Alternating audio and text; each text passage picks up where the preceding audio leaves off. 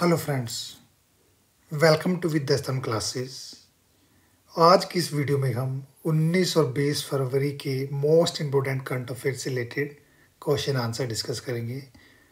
और आज का हमारा पहला क्वेश्चन है which of the following statements is are correct about rhododendron plant rhododendron plant के बारे में निम्नलिखित में से कौन सा कथन सही है?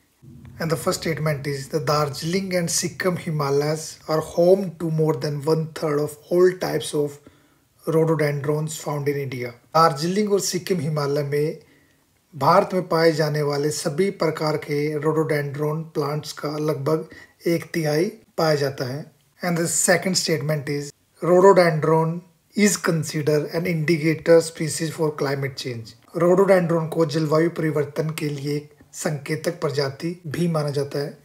And your option are A first only B second only C both and D neither one nor two and the right option is option C both first and second statements are correct Bharat में rhododendron की लगभग 132 प्रजातियाँ पाई जाती हैं, जिनमें से लगभग एक प्रजातियाँ अकेले उत्तर पूर्वी भारत में पाई जाती हैं। पूर्वी हिमालय की ठंडी नमी युक्त ढलाने और गहरी घाटियाँ रोडोडेंड्रोन प्रजातियों के विकास के लिए एक फेवरेबल हैबिटेट बनाती हैं। And the next question is which of the following pairs are correct first Mukundra hill national park, जो कि एमपी में है। Number second Madhav national park, जो राजस्थान में है। Number third Gandhi Sagar wildlife sanctuary जो एमपी में है। And the fourth Shergarh wildlife sanctuary जो राजस्थान में है। And your option are A first and second statement are correct.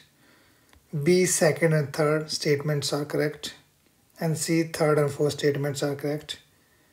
And D all of the above statements are correct. And the right option is option C third and fourth. Mukundra hills national park Rajasthan में है Madhav national park MP में है Gandhi Sagar wildlife sanctuary MP में है और Shergarh wild life sanctuary Rajasthan में है Kuno national park के अलावा इन चार वाइल्ड लाइफ सेंचुरी या नेशनल पार्कों में अफ्रीकन चीते को रीलोकेट करने की बातचीत चल रही है। And your next question is which of the following statements are false for Indus water treaty Sindhu जल संधि के बारे में निम्नलिखित में से कौन सा कथन गलत है? And the first statement is the Indus water treaty was signed by the then Indian prime minister Nehru and then Pakistan prime minister Ayub Khan, which was brokered by then IBRD. Sindhu जल संधि पर तत्कालीन भारतीय प्रधानमंत्री नेहरू और पाकिस्तान के तत्कालीन प्रधानमंत्री आयूब खान ने हस्ताक्षर किए थे, जिसकी मध्यस्थता IBRD, international bank of reconstruction and development, ने की थी। And your second statement is, India got control over three eastern rivers, Sutlej, Ravi Beas, where Pakistan got three western rivers Indus Chenab and Jhelum इस संधि के द्वारा भारत को तीन पूर्वी नदियों, सतलुज, रावी, ब्यास पर अधिकार प्राप्त हुआ, जबकि पाकिस्तान को तीन पश्चिमी नदियों, इंडस, चेनाब और झेलम पर अधिकार मिला। And third statement is this treaty gives India 80 percent of water from Indus river system and rest 20 percent to Pakistan यह संधि भारत को सिंधु नदी प्रणाली का लगभग 80 परसेंट पानी इस्तेमाल करने का अधिकार देती है, जबकि 20 प्रतिशत पानी का प्रयोग पाकिस्तान कर सकता है। And the fourth statement is statement third this treaty gives India only 20 percent of water from Indus river system and the rest 80 percent to Pakistan and the next question is Galathea bay is located in Galathea bay कहाँ अवस्थित है? And option are A Atlantic ocean B Indian ocean C. Pacific Ocean and D. Mediterranean Ocean. And the right option is option B. Indian Ocean. जैसा diagram में देख सकते हैं गैलेथिया बे great Nicobar के पास है जहाँ हाल ही में भारत सरकार द्वारा एक इंटरनेशनल कंटेनर ट्रांसपोर्ट बनाने की परियोजना प्रस्तावित है, जिससे भविष्य में भारत कोलंबो सिंगापुर व पोर्ट क्लैंग जैसे बंदरगाहों पर अपनी ट्रांसशिपमेंट के लिए निर्भर नहीं रहेगा। इसे भारत के मैरिटाइम ट्रेड के लिए गेम चेंजर के रूप में भी देखा जा रहा है। The next question is Kavach 2023 is a national level hackathon organize by which university Kavach 2023 जो कि नेशनल लेवल हैकेथन है, उसे किस मिनिस्ट्री द्वारा आयोजित किया गया? And your option are A ministry of education B ministry of electronics and IT C ministry of skill development and D ministry of defence and the right option is option A ministry of education Kavach 2023 एक राष्ट्रीय स्तर का hackathon था, जिसे cyber सुरक्षा चुनौतियों का समाधान करने के लिए